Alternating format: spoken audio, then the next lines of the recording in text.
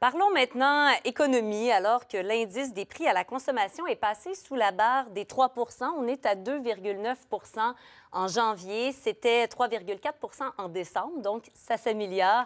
Avec nous pour mettre tout ça en perspective, Sébastien McMahon, il est stratège en chef et économiste senior chez IA Groupe Financier. Bonjour. Oui, bonjour. 2,9% à quel point c'est mieux ou non que ce qui était anticipé? Ben, c'est un peu en dessous de ce qui est anticipé. Les attentes aux alentours de 3,3% Donc, je vous dirais que c'est une bonne nouvelle, mais il faut s'attendre à avoir de la volatilité. On en parle depuis longtemps, les économistes, que c'était probablement plus facile de prendre l'inflation à 8, la ramener à 3 que de la prendre de 3 puis de l'amener à 2 Donc, c'est un pas dans la bonne direction. Le prix de l'essence a aidé, je vous dirais, là, dans les derniers mois, mais il faut s'attendre à avoir encore de la volatilité autour de 3 pendant encore quelques mois, probablement. C'est encore beaucoup le prix de l'essence hein, qui fait euh, la différence nécessairement?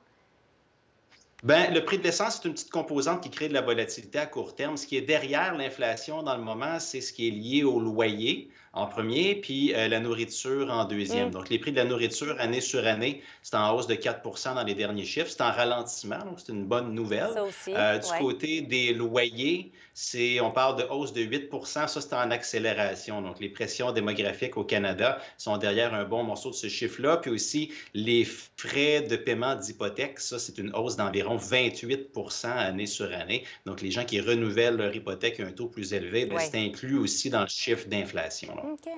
Euh, l'objectif de la Banque du Canada, c'est 2 Vous le disiez, le chemin semble court, mais il peut être long entre le 3, presque 3, 2,9 et 2 euh, Est-ce que vous pensez que euh, l'inflation actuelle va quand même être suffisante, la baisse que l'on observe, pour baisser les taux le 6 mars, qui est le moment de la prochaine décision de la Banque du Canada? Le 6 mars, je vous dirais que non, c'est vraiment pas dans les cartons. Puis je pense qu'il n'y avait pas vraiment d'économistes qui s'attendraient à ce qu'il y ait des coupures le 6 mars. Nous, la date qu'on a encerclée sur notre calendrier, c'est le 24 juillet prochain.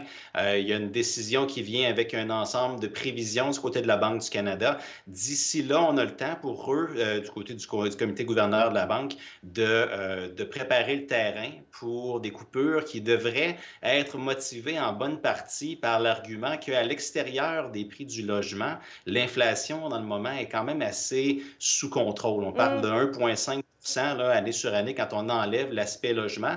Mais il faut prendre le temps de bien communiquer ça. Il faut s'assurer d'agir avec euh, les, la bonne information en main. Donc, probablement qu'on va être en mode attente du côté de la Banque du Canada au cours des prochains mois. Puis, rendu l'été, on pense que la conviction devrait y être. Et, et le ralentissement économique également que l'on voit, j'imagine que ça pèse dans la balance? Oui, tout à fait. Quand on regarde l'économie canadienne, quand on regarde en dessous du capot, quand on corrige pour la croissance de population qui est assez énorme, ça fait un an et quelques qu'on a l'air d'être en récession, disons, per capita chez nous. Donc, de ce côté-là, ça va, euh, ça milite vers des coupures de taux. Mais bien sûr, le mandat de la Banque du Canada, c'est ramener l'inflation de façon stable vers 2 Ça, il reste encore un petit peu de chemin à faire. C'est pour ça qu'on pense que c'est plutôt vers l'été qu'on va voir des baisses. Mmh. Et pour les gens qui ont une hypothèque, qui ont hâte de voir les taux baisser, vous parlez bon, de juillet. Euh, est-ce que rapidement, habituellement, on voit par la suite euh, une, un impact sur, sur les taux hypothécaires comme tel? Est-ce qu'on s'attend à ce que euh, ça prenne un certain temps avant que l'on voit vraiment concrètement l'impact?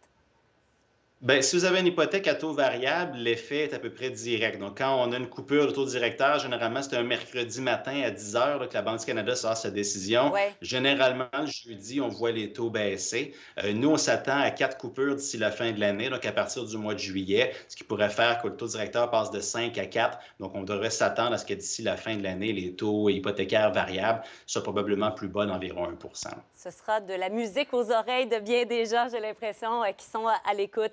Sébastien McMahon, merci beaucoup d'avoir été avec nous. Très instructif. Un plaisir. Au revoir. Merci.